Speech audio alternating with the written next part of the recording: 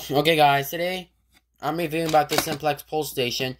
This is a 2099, 90, um, 2099 9103 break glass dual break glass pull station. So once again, this one is true double action pull station. So the way to do that to um pull it, all you simply want to do is going to take this little hammer, slam it down, and pull the T-bar in it. So once again, I do not have any glass on it. So the way to pull it is, once again, get the hammer, slam slam the glass, and pull the T-bar. So, so, yeah. Yeah. So right now, the way to pull it, all you literally have to do is lift here, and uh, once again, no glass, and you pull it down. So now it's pulled. So as you can see, basically when you pull down the pull station, this groove right here is actually different comparing to the metal pull stations. Now all metal pull stations can have a groove on it. So yeah. Now we'll go ahead and reset it. So basically to reset it, all you literally have to do, so this one is actually spring loaded. So this one always flies back, flies, flies back up. So right here we have, in the inside, we have a button. This one automatically clicks. Right here we have the spring. This one's spring loaded. There it is. And right here we have the lock, because actually it's open, so I don't know why. So, I, am a fan of those. So, if you don't want the spring, you literally have to do is just pull it back off. And now, your pull station doesn't have the spring, see? You guys don't like, so... Let me just, let me just put it back on. There you go.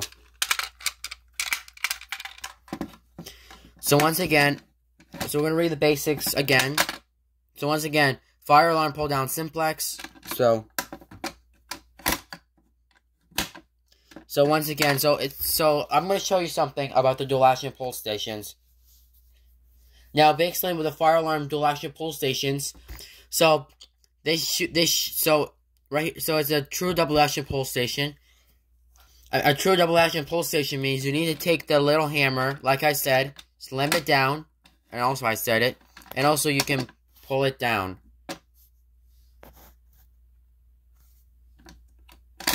There you go. So not only that, so and since for the for the dual action pull station, you can go ahead and let all you have, literally have to do is so if it's a dual action pull station with a push bar on it, so they should be put on the push bar push part here, the one you can pull push in, pull it down like this. Push in, pull down. I mean, that doesn't do well. So I didn't do it well. So once again, push in, pull down, and once again, the spring is clearly different. So, yeah. So, I'm to show you. Also, on here, I'm to show you on, on the top. So, so now this pull station is the model number. So, this is different. I think I made a mistake. Model number is GPA A B C D E F G A Z A H A Z O C L O C per. I don't know. Oh. Sorry, guys. I don't know why my phone keeps dropping. So, right here, that's the mod number. So, I'm going to show you how to install the unit. I'm going to show you how to install the unit onto the wall. so, the way to install the unit onto the wall is going to have a back box on the wall, but not a simplex back box. Like a back box meaning one of these, which I'm going to show you which is this um white back box in this in this unit here fits fits right onto it. Sorry, it can't fit. Hold on, let me just push in the wires.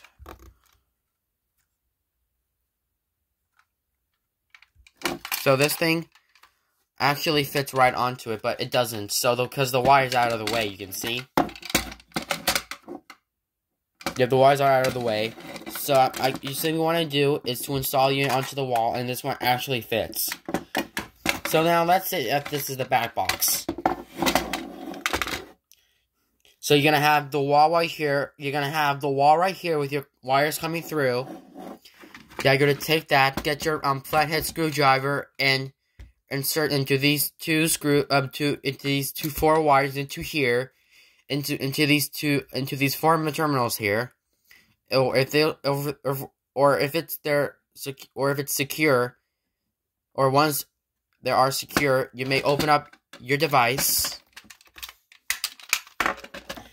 And right here, you're gonna put up four screws that they give you. And you're gonna put So you're going to put in these four screws onto each. So right here, which I'm going to show you now, you need to actually put hole. You need to put two screws in each hole right here. See it? Or it could be flush mounted if you two in the middle. So, um, so for now, um, I'm going to show you on the back side. Once again, I'm going to look on the back side again. So right here we have all the numbers here. One, two, three, four numbers. And we got all the screw terminals. I don't know which I don't know which one's the positive or the negative. I have to have to check. Um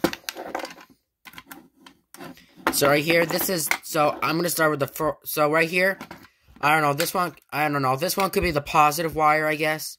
And this one as well. And the in the second terminal or screw, screw terminal, is the negative wire. I am not sure. So, I really like these devices. You know, really nice. And except for this thing, I can't mount it into the wall because the, the back box can't fit.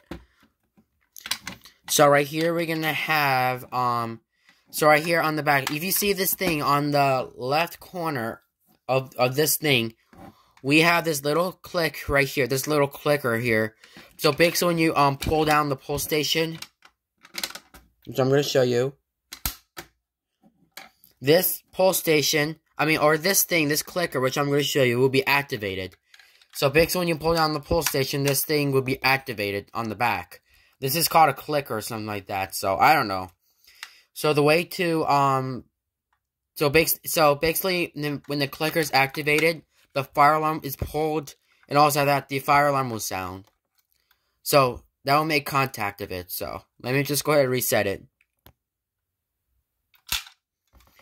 And basically when you pull down the pull station once again, the handle is spring loaded.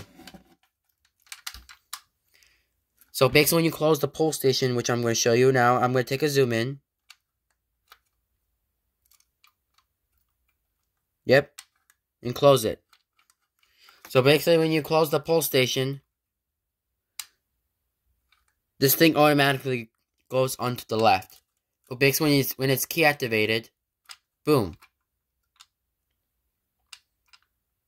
This thing literally um gets activated so it's on the right. So, yeah.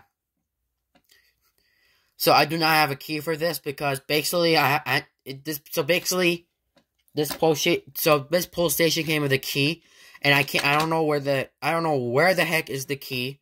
I think I actually don't have it because it didn't give me one. That that sucks, isn't it? That sucks. They um. That's weird. They don't have the the key for this one. sucks to be me. So. So basically, so never pull fire alarms unless these are your own, or you have permission, or it's an actual fire. So I'm just going ahead and pull this. There you go. Resets.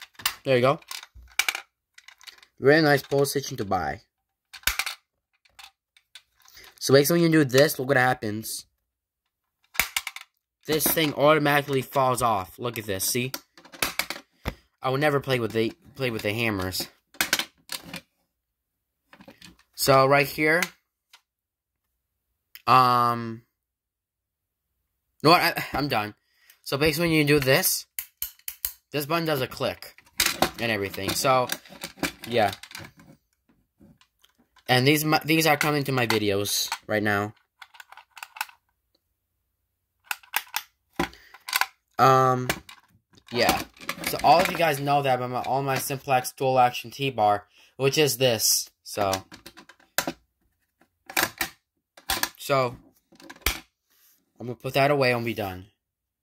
So that's it. Thank you guys for watching. I'm going to see you tomorrow morning.